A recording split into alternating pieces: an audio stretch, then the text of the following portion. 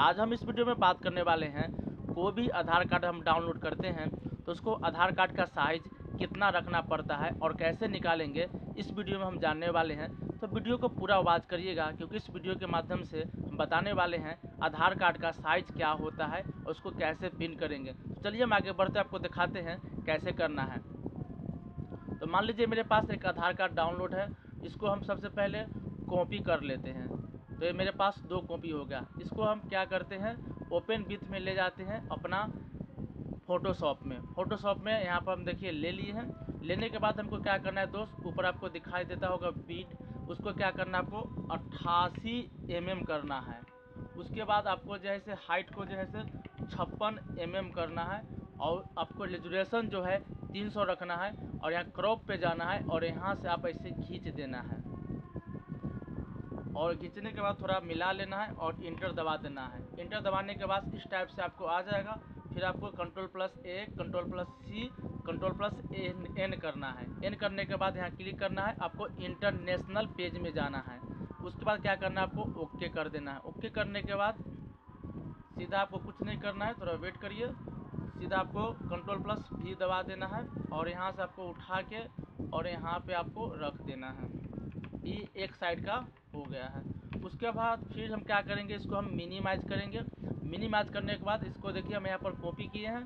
Copy करने के बाद इसको क्या करेंगे, फिर से हम इसको हम फोटोशॉप में ले जाएँगे। फोटोशॉप में ले गए हैं। फोटोशॉप में ले जाके मेरा वहाँ से सब सेटिंग ओके है। फिर से हम क्रॉप में जाएँगे और सेकेंड पार्ट को हम क्या करेंगे फिर यहाँ से जो है हम आधा ले लेंगे और यहाँ पर हम इंटर दबा देंगे।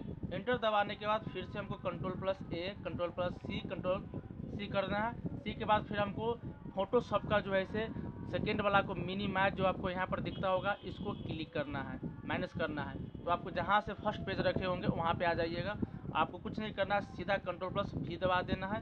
कंट्रोल प्लस टी करके आपको यहाँ से उठा लेना है।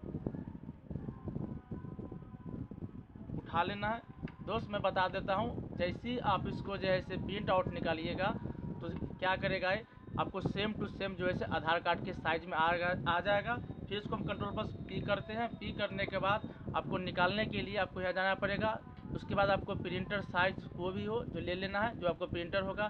मेरा यहाँ पर एल बत्तीस पचास क्लिक करते हैं। पेज सेटअप में जाते हैं। पेज सेटअप में जाने के बाद थोड़ा वेट करिए, यहाँ से फिर जाते हैं ए फोर साइज़ ले लेंगे और यहाँ से हम क्या करेंगे क्वालिटी को बढ़ा देंगे और यहाँ से इसको भी बढ़ा देंगे और उसके बाद क्या प्रिंट कर देंगे। दोस्त, मुझे उतना बड़ा नहीं निकलना है हाई क्वालिटी का तो हम नॉर्मल ले लेते हैं, निकाल के दिखाते हैं और यहाँ पर हम इसको बीट कर देते हैं और यहाँ से ओके करते हैं। इसके बाद cycle and to fit media को क्लिक कर देना है और यहाँ से प्रिंट कर देना है। प्रिंट करने के बाद मैं आपको दिखाता हूँ। हम देखते हैं कि प्रिंट आता है कि नहीं आता है। तो यहाँ से हम प्रिंट करेंगे। जैसे ही प्रिंट करेंगे दोस्त तो देखिएगा प्रिंटर चालू है यहाँ से और प्रिंट होना अब शुरू हो जाएगा। आधार कार्ड का साइज़ आता है कि नहीं आता है हम देख लेते हैं। तो यहाँ पर हम देखते हैं कि प्रिंट आता है कि नहीं आता है। तो यहाँ से हम तो आप यहाँ देख सकते हैं कि आधार कार्ड के साइज़ में जो है से यहाँ से निकल के आ गया। है दोस्त आप भी इस टाइप से आप कोई भी डॉक्यूमेंट को वोटर आईडी कार्ड हो या ड्राइविंग लाइसेंस हो या आधार कार्ड हो कुछ भी जो है से इस साइज़ के फॉर्मेट से आप बना सकते हैं।